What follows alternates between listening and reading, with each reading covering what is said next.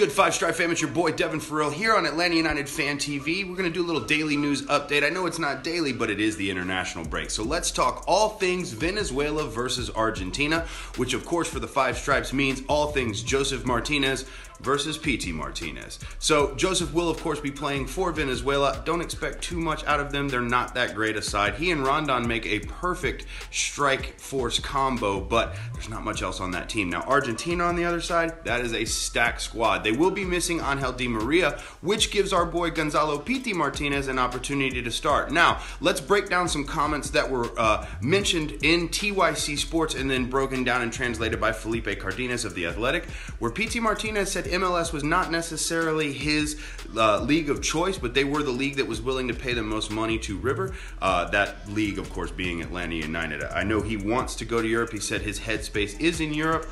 And then it's been a difficult adjustment as Atlanta United has not been playing their best ball at the start of the season.